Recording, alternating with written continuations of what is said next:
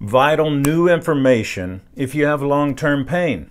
Hey folks, I'm Dr. Jeff Williams with Creekstone, and today I want to teach you some new thinking that medical neuroscience research is showing us about chronic long term pain. And it's absolutely fascinating, and anyone that you love, from young to elderly, they really need to know this stuff. So please consider hitting the share button and sending it to them. Let's help as many people as we can, okay? So let's dive in. When we think of chronic pain, we think about having pain beyond the point that it should have disappeared. I mean, think about it. Every single tissue in our body has a healing timetable. And once that timetable is reached, shouldn't the pain have gone away? Bone heals in about six to eight weeks. Same thing goes for muscle issues, six to eight weeks or so.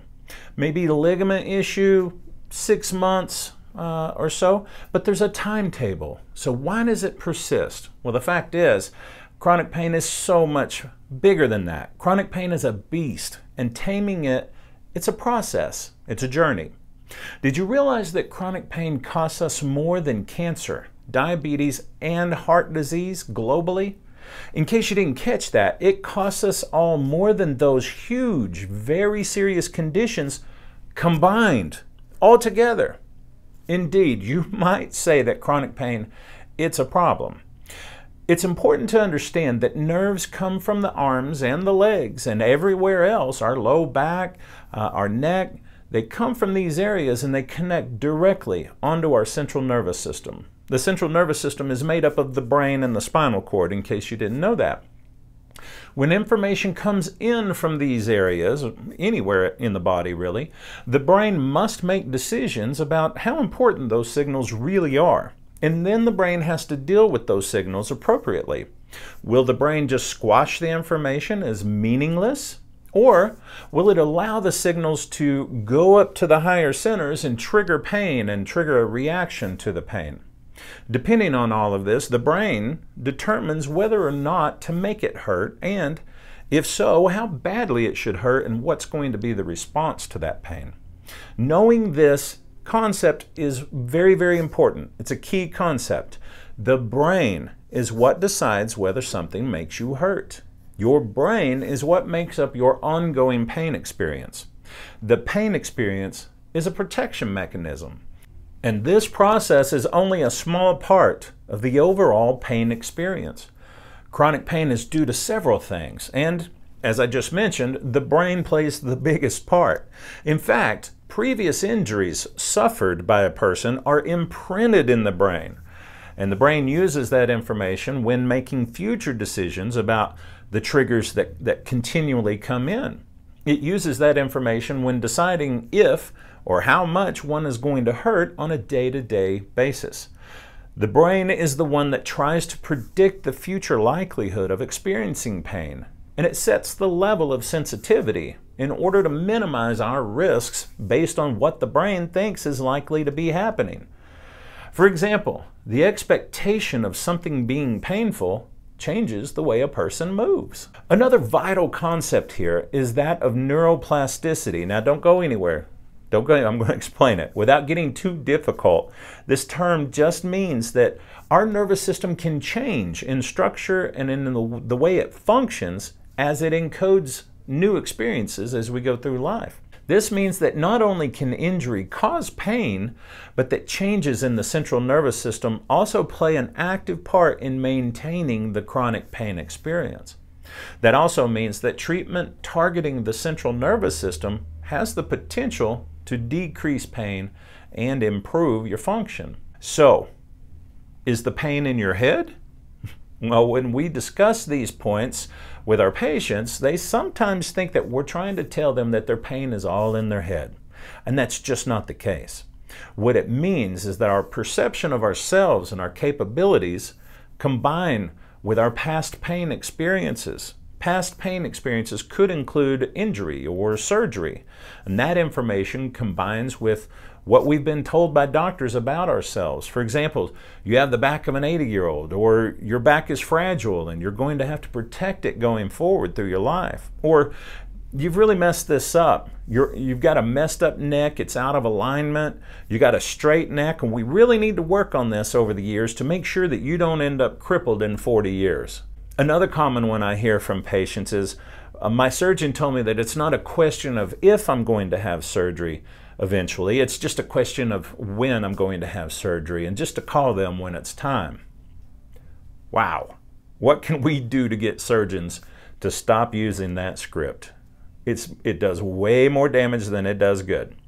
And then you have, uh, you have to factor in your beliefs about yourself, your condition, your life with pain, and your likely chances of ever being able to recover from it.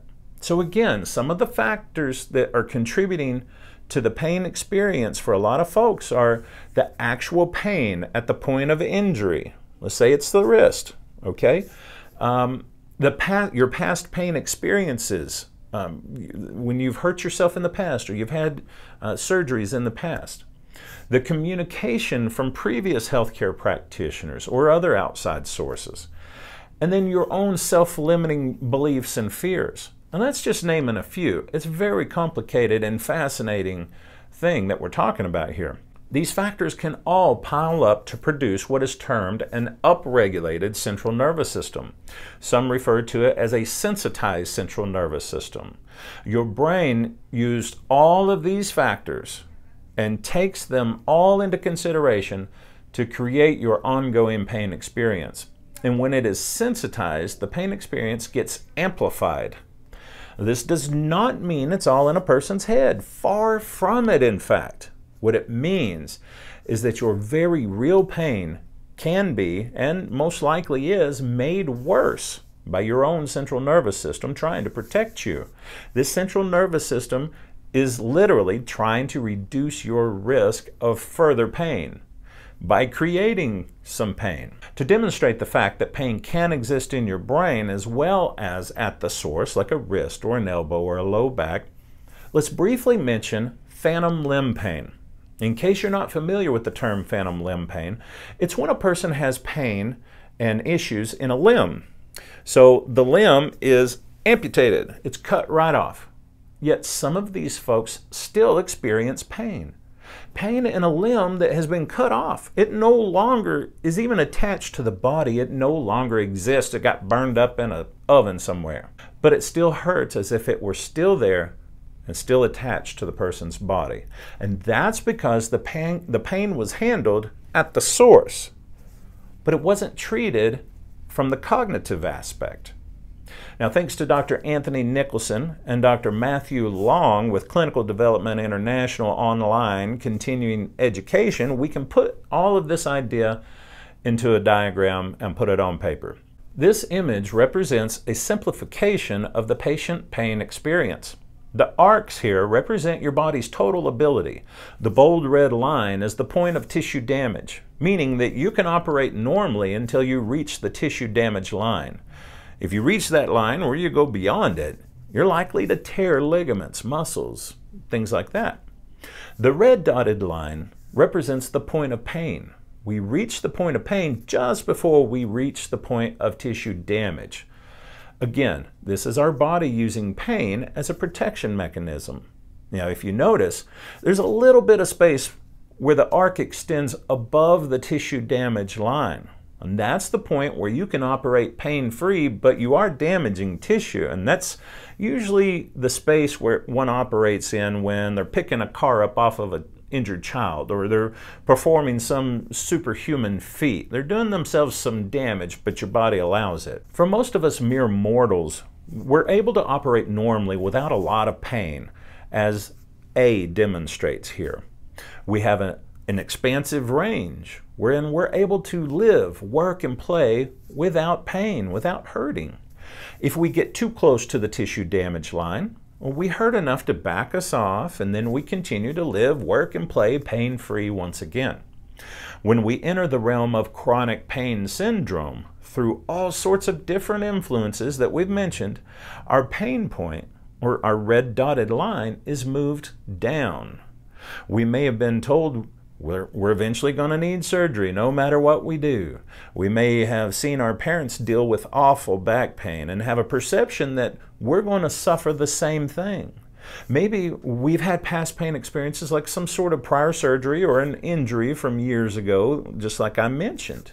Maybe that's still in our brain too. In this sort of scenario, your central nervous system moves that red dotted line down to protect you. It moves it down because you have subconsciously told your body that you need to be protected. And now, as B represents, you have much less space in which you can live, work, and play before you start hurting. As I mentioned before, this is a sensitized, upregulated nervous system. This is when more and more things that do not trigger pain pass through to the central nervous system and they start causing pain. They don't normally cause pain, but since your line has moved down, now they do. Now, describing this to patients that are hurting, well, this can elicit a couple of big responses. One response is that of relief. There's relief that we have helped put a name on what's going on. Relief that we provided a path that just might lead out of it someday. The other big response that we commonly get is that of irritation. Irritation because they believe that I'm telling them their pain is purely in their head. If it's all in their head, then how could they hurt so badly, right? They also think we're suggesting they're somehow crazy. And that just could not be further from the truth. There is almost always a real reason for the onset of pain. Some common reasons could be maybe arthritis that's consistently irritating and, and, inflaming hands or wrists or elbows or whatever. Um, instability in joints, loose joints that tend to move around more than average and cause constant irritation with certain movements. You know, there are very real reasons for pain at the actual source. But the longer that pain sticks around, the more of it simultaneously begins to also live within the brain and within the overall pain experience. That is exactly what chronic pain is. We can throw all the stuff we do at the pain chiropractic, surgery, acupuncture, physical therapy, medicine, shots, pills, massage. But if it's not also treated at the same time from a cognitive aspect, the outcome may still remain disappointing. There are all kinds of ideas on how to treat centralized chronic pain. One physician with some great research and great ideas in, in his arsenal is Dr. David Hanscom, uh, MD. Dave, Dr. David Hanscom is a spinal surgeon from Washington State. He's a medical doctor. He has authored a book called Back in Control. And Dr. Hanscom is actually a spinal surgeon who just happens to be on the warpath against spinal surgery. Or to be more specific, he's against surgery for the wrong candidates. Uh, he's very clear that too many back surgeries are happening. He states that so many of them are failures because the patient was not a good candidate for the surgery in the first place. He shares a pretty shocking statistic as an example. He cites research showing that when a chronic pain sufferer undergoes surgery and everything goes beautifully, the patient will still experience chronic pain at the new site of surgery in 60% of the cases. Wow, that is a 60% failure rate for supposedly successful surgeries. That is a sensitized central nervous system right there, folks. He also has a website we recommend often, and the website is backincontrol.com. This is where he provides uh, more clarification and therapy ideas.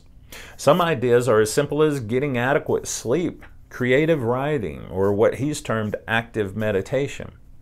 In addition to Dr. Hanscom's book, we typically recommend the patient undergo a broad treatment management strategy, multimodal, lots of things going on, all with the focus of helping the patient get out of pain.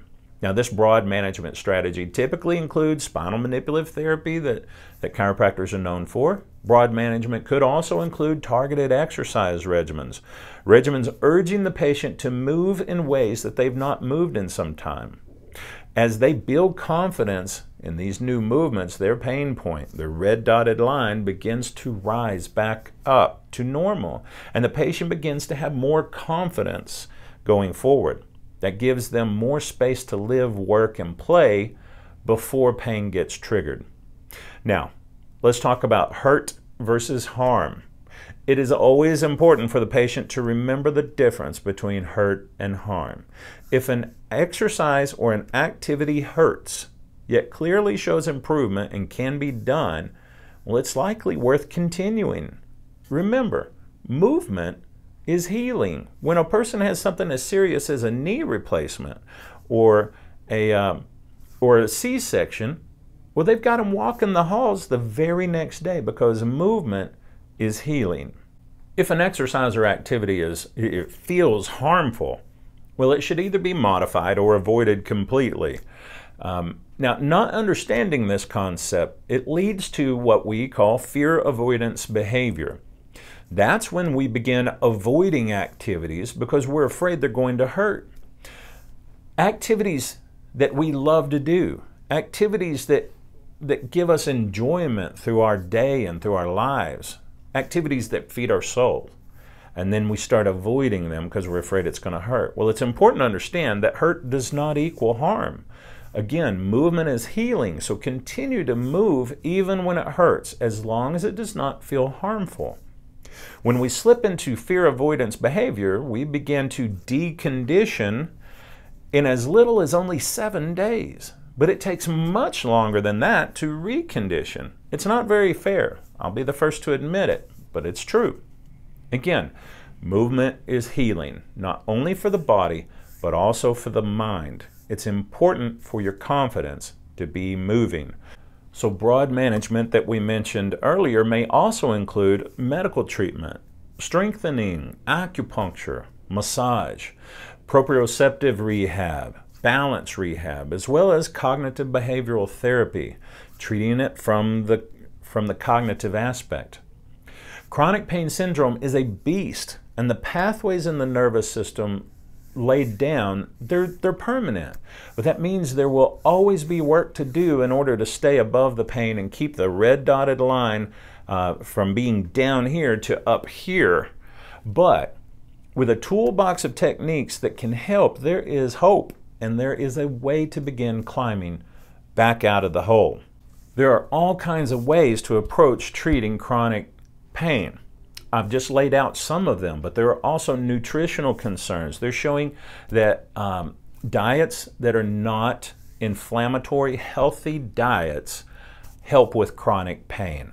Uh, chronic pain and depression are very closely linked to each other, and that could be another avenue of, of attacking chronic pain. But the point is, we are helping people of our area like never before. We're getting them closer to a pain free life. We're getting them on the road to avoiding surgery, getting off of pain medication, getting better sleep, and taking control of their own lives without the need for a bunch of healthcare practitioners. We're teaching them to self manage at home. And that's why it's so important to share this video, folks. I would appreciate your help. We want to take care of as many as we can, whether that's in here or whether they're on their own uh, researching this information and taking uh, taking the steps on their own at home. It doesn't matter. They need to know the information. If you're watching on YouTube, please subscribe, comment, and share. If you're watching on Facebook, like, comment, and share with your network, please. I'd love to hear what you think about this fascinating topic. I'm uh, I'm enthralled by it. If you're from the Amarillo area, uh, or you're going to be passing through and you need to be seen, call us. Let's get you on the schedule. Again, I'm Dr. Jeff Williams with Creekstone. Until next week, I'd love to help you. Take care. We'll see you then.